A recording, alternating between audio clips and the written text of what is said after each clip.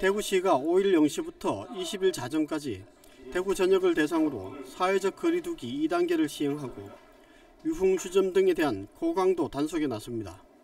감염병 전문가들과 긴급회의를 개최한 결과 최근 대구의 코로나19 확산세가 심상치 않아 2차 대유행이 우려되는 방역 고비에 직면한 것으로 판단했기 때문입니다.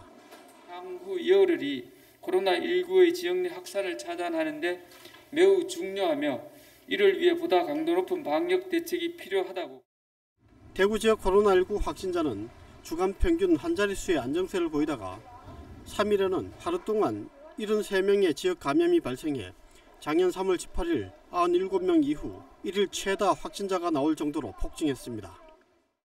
인구 100만 명당 확진자 수로 환산할 경우 30.3명이 발생한 것으로 수도권의 17.1명에 비해 43.6%나 높은 수치입니다. 특히 전파력이 높은 영국 변이 바이러스가 확산되고 발생 영역이 광범위해진 반면 백신 접종률은 전국에서 가장 낮은 수준이기 때문에 방역 안전망이 위태로운 상태입니다. 사회적 거리두기 2단계 격상에 따라 우선 100인 이상 모임과 행사는 원칙적으로 금지됩니다. 스포츠 관람 인원이 수용 인원의 10% 이내로 축소되고 국공립 시설의 이용 인원은 50%에서 30% 이내로 제한됩니다. 유흥시설 5종과 무도장, 홀덤펍, 노래 연습장은 전면 집합 금지 조치가 내려지고 식당과 카페는 밤 9시 이후 목욕장업과 실내 체육시설, 독서실, 스터디 카페는 밤 10시 이후 운영할 수 없습니다. 다만 식당과 카페의 경우 일주간 추이를 지켜본 후 밤 10시 이후로 제한을 완화할지 여부를 추후 결정할 예정이며 영업시간 이후 배달과 포장은 가능합니다.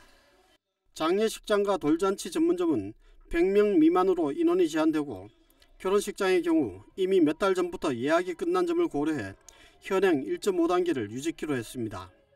학원은 시설 면적 8제곱미터당 1명 인원 제한 또는 두 칸 띄우기로 강화되고 종교시설은 좌석수 기준 30%에서 20% 이내로 축소됩니다.